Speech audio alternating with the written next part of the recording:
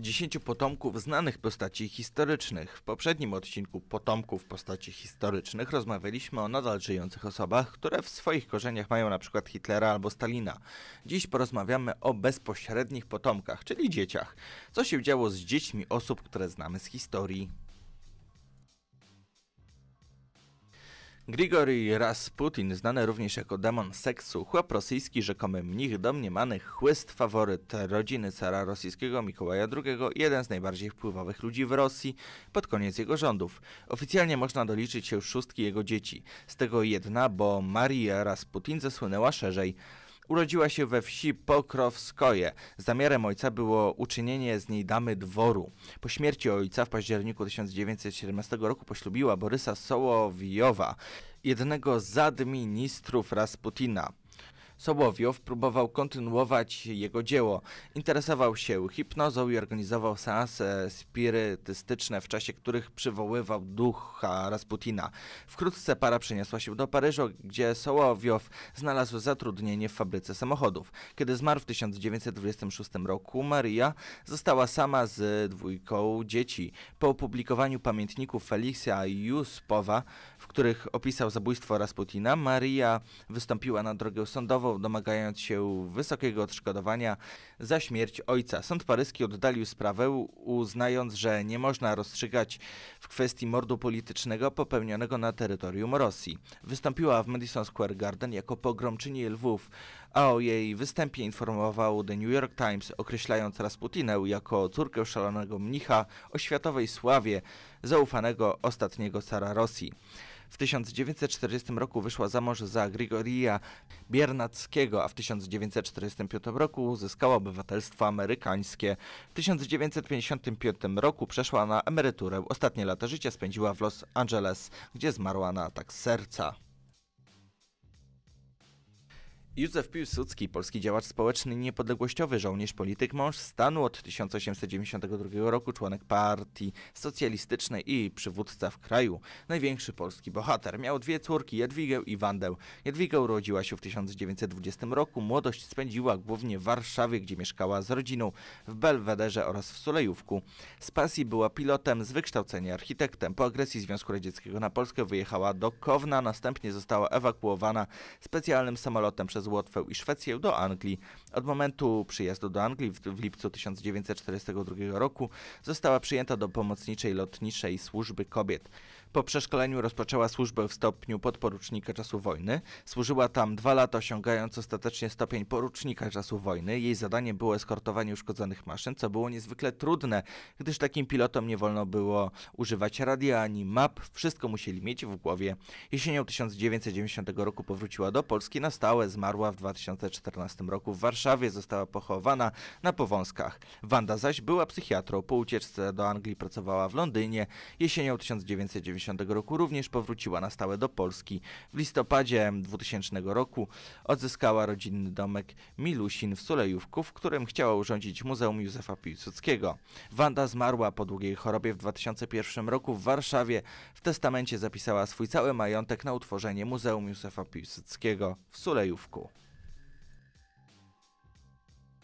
Winston Churchill, brytyjski polityk, mąż stanu, mówca, strateg, pisarz i historyk, malarz, dwukrotny premier Zjednoczonego Królestwa, laureat literackiej Nagrody Nobla, honorowy obywatel Stanów Zjednoczonych. W 2002 roku w plebiscycie organizowanym przez BBC został uznany najwybitniejszym Brytyjczykiem wszechczasów i według mnie największym bohaterem II wojny światowej, mimo że Polskę miał w czterech literach.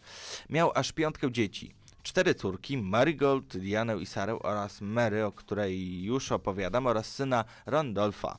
Mary to najmłodsze dziecko premiera, służyła w Czerwonym Krzyżu i Ochotniczej Służbie Kobiet w latach 1939-1941. Później wstąpiła do Ochotniczej Służby Terytorialnej, pracowała w Londynie, Belgii, w Niemczech. Towarzyszyła również swemu ojcu jako adiutant podczas jego podróży zagranicznych. Uczestniczyła m.in. w konferencji w Poczdamie, gdzie poznała Trumana i Stalina. Lady Somes została odznaczona Krzyżem Komandorskim Orderu Łaźni za jej działalność publiczną, zwłaszcza w Rodezji. 23 kwietnia 2005 roku została mianowana Damą Orderu Podwiązki. Order otrzymała podczas uroczystej ceremonii 13 czerwca w zamku Windsor. Wydała również zbiór korespondencji między swoimi rodzicami. Jej ostatnim dziełem był serial o zagranicznych podróżach jej ojca emitowany w amerykańskiej telewizji.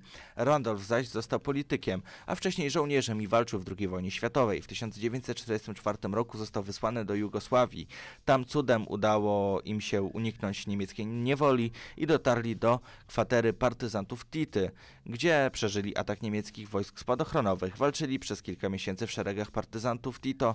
Po powrocie do Londynu obaj przedstawili spory raport na temat prześladowań księży przez te oddziały. Brytyjski minister spraw zagranicznych, Eden, schował ten raport do szuflady, nie chcąc psuć stosunków z Titą i zachować w Jugosławii brytyjskie wpływy. Churchill dostał jednak za tę misję Order Imperium Brytyjskiego.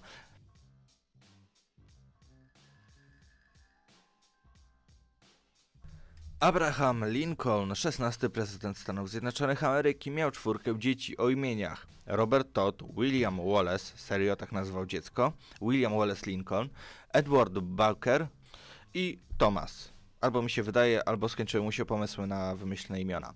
Robert Todd Lincoln wziął udział w wojnie secesyjnej po stronie Armii Unii. W 1867 roku rozpoczął pracę adwokata w Chicago, sprawował funkcję sekretarza wojny, a następnie ambasadora w Wielkiej Brytanii. Zmarł w 1926 roku.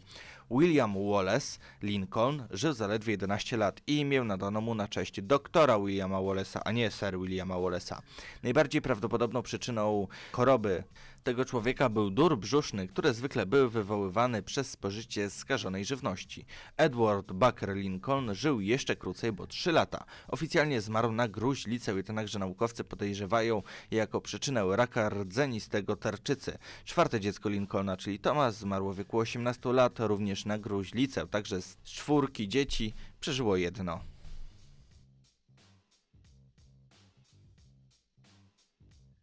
Che Guevara, latynoamerykański rewolucjonista, pisarz zawodu lekarz, miał aż trzy córki i dwóch synów. Nie o wszystkich można doszukać się informacji. Aleida Guevara jest najstarszą córką Che, była na misji humanitarnej w Angolii, aktualnie prowadzi dwa domy dla niepełnosprawnych dzieci na Kubie i dwa kolejne dla uchodźców z problemami domowymi. Jako pediatra specjalizujący się w alergiach dziecięcych była również zaangażowana w pomoc medyczną dla społeczności w zalanym rejonie wokół Rio Cuto. Aktualnie ma 58 lat. Na temat Hildy, Camilo, Ernesto i Celiny informacji brak, a przynajmniej są bardzo niepewne.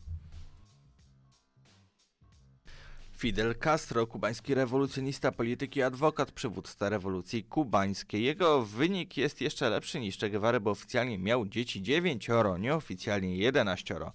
Alina jest dość ciekawą postacią, bo mimo, że była córką Fidela, to była jego politycznym przeciwnikiem.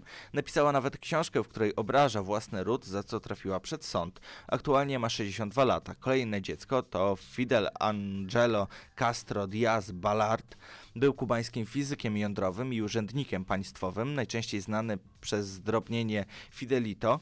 Był jednym z największych uczonych kubańskich, głównie szkolony był w Moskwie. Zmarł w 2018 roku w wyniku samobójstwa po długotrwałej depresji. Miał 68 lat. Pozostałe dzieci to Francesca, Alex, Antonio, George, Alexis, Angel i Alejandro. Benito Mussolini, włoski polityk i działacz początkowo socjalistyczny, główny założyciel i przywódca ruchu faszystowskiego, premier Włoch oraz przywódca Włoskiej Republiki Socjalnej, zbrodniarz wojenny. Miał aż ośmioro dzieci. Romano to włoski pianista jazzowy i malarz. Światową sławę zyskał jako pianista. Karierę rozpoczął w latach 50. Przez jakiś czas występował jako Romano Full ze względu na źle odbierane po wojnie nazwisko ojca. Edda była za to nieślubną córką Benito Mussoliniego. W czasie wojny grecko-włoskiej Edda zgłosiła się na ochotnika do służby włoskiego Czerwonego Krzyża. 25 lipca 1943 roku podczas pamiętnego zebrania Wielkiej Rady Faszystowskiej mąż poparł przeciwników Mussoliniego i głosował za jego usunięciem. Mimo wysiłków żony Galesso Ciano został skazany na karę śmierci za zdradę stanu i rozstrzelany. 9 stycznia 1944 roku Edda uciekła do Szwajcarii, po II wojnie światowej wróciła do Włoch i w 1945 roku została skazana na dwa lata więzienia za popieranie faszyzmu. Bruno, czyli kolejne dziecko, dołączył do królewskich włoskich sił powietrznych. Oprócz udziału w różnych konfliktach, Bruno był zaangażowany w ustanawianie rekordów prędkości lotu w 1938 roku do Brazylii. Ponadto walczył w armii Franco. 7 sierpnia 1941 roku leciał w jednym z prototypów tajnego bombowca. Kiedy samolot leciał zbyt nisko, uderzył w dom. Bruno Mussolini zmarł z powodu odniesionych obrażeń. Vittorio był włoskim krytykiem i producentem filmowym, ponadto również był pilotem. Po wojnie Mussolini wyemigrował do Argentyny, a później wrócił do Włoch. Zmarł 12 czerwca 1997 roku w wieku 80 lat w klinice w Rzymie. Anna Maria była gospodarzem radiowego programu, zaś Giuseppe był włoskim prawicowym politykiem, lecz fakt o byciu syna Mussoliniego to zaledwie pogłoski. Był jeszcze nieślubny syn Benito, który otrzymał nazwisko po swojej matce, czyli nazywał się Benito Dalser. Francisco Franco, hiszpański dyktator wojskowy, przywódca antyrepublikańskiego przewrotu, zbrodniarz wojenny odpowiedzialny m.in. za handel dziećmi, stąd potomstwo u niego wydaje się wyjątkowym wyrazem hipokryzji. Miał córkę Maria del Carmen Franco Polo. To hiszpańska markiza, prezes fundacji Francisco Franco, matka siedmiorga dzieci i babka czternastu wnucząt, w tym pretendenta do tronu Francji Ludwika Alfonsa Bourbona, jedna z najbogatszych kobiet w Hiszpanii o majątku około 600 milionów euro. Zmarła wskutek choroby nowotworowej w 2017 roku. Heinrich Himmler, polityk, jeden z głównych przywódców Niemiec nazistowskich, zbrodniarz wojenny, miał czwórkę dzieci. O Nanette wiadomo tyle, że zmarła w 2000 roku w wieku 55 lat, zaś o Gerhardzie nie wiadomo nic. Wiadomo, że był adoptowany w wieku 5 lat przez Himmlera i to wszystko. Helge zaś zmarła w 2005 roku w wieku 63 lat i była jego nieślubną córką. Jedynym ślubnym dzieckiem była Gudrun. Towarzyszyła ojcu w podróżach służbowych, w tym także w wizytach w obozach koncentracyjnych. Po jednej z nich napisała w swoim dzienniku: Dziś byliśmy w Dachau. Widzieliśmy zielnik, grusze i obrazy, które namalowali więźniowie śliczne. Później trafiła do brytyjskiej niewoli, wyszła za mąż za dziennikarza o neonazistowskich poglądach, była zaangażowana w pomoc i wspieranie byłych nazistowskich funkcjonariuszy III Rzeszy w ramach organizacji Cicha Pomoc. Przyczyniła się także do założenia w 1952 roku roku młodzieżowej organizacji Viking Jugend, zakazanej przez rząd niemiecki w 1994 roku. Brała udział w spotkaniach weteranów SS organizowanych przez karyncką FPO. Sponsorowała również stale działalność młodych ruchów neonazistowskich. Dzięki Bogu zmarła w 2018 roku. I dobrze. Józef Stalin, radziecki polityk pochodzenia gruzińskiego, pięcioro dzieci miał. Swietłana to najmłodsze dziecko, jedyna córka Józefa Stalina. Kiedy miała 16 lat, zakochała się w Żydzie. Jej ojciec nie zaakceptował tego związku. Później skazał go za współpracę z Anglikami aż w końcu skazał na wygnanie. Zmarła ona 22 listopada 2011 roku w wyniku komplikacji związanych z rakiem jelita grubego.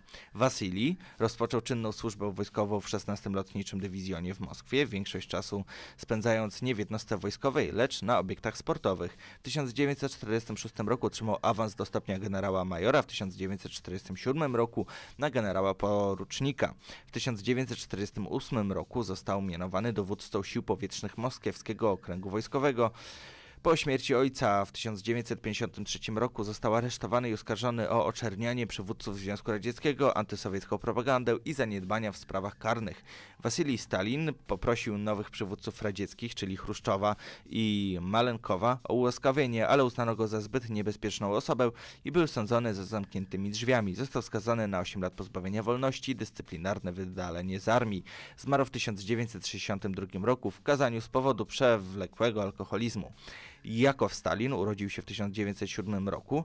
Po ataku Niemiec na Związek Radziecki w 1945 1941 roku zgłosił się do służby frontowej. Walczył na Białorusi, trafił do niewoli niemieckiej, często w obozie popadał w depresję i odmawiał jedzenia. W 1943 roku odmówił powrotu do baraku mieszkalnego i rzucił się w kierunku ogrodzenia z drutów pod napięciem, po czym został zastrzelony przez straż, względnie porażony prądem. Konstantin zaś był nieślubnym dzieckiem Stalina. Przez pewien czas uczył filozofii w Leningradzkim Wojskowym Instytucie Mechanicznym. Zmarł w 1990 1956 roku. Artyom zaś był adoptowanym synem Stalina, został głównym generałem w sowieckiej armii. Jego ojciec był przyjacielem Stalina, gdy ten zginął w katastrofie kolejowej. Dyktator wziął go pod swoje skrzydła. Jego służba wojskowa rozpoczęła się w 1938 roku w wieku 17 lat i był aktywny w walce z wojskami niemieckimi w czasie II wojny światowej. Został mianowany podpułkownikiem w wieku 23 lat i kontynuował służbę w wojsku po wojnie. Zmarł w 2008 roku.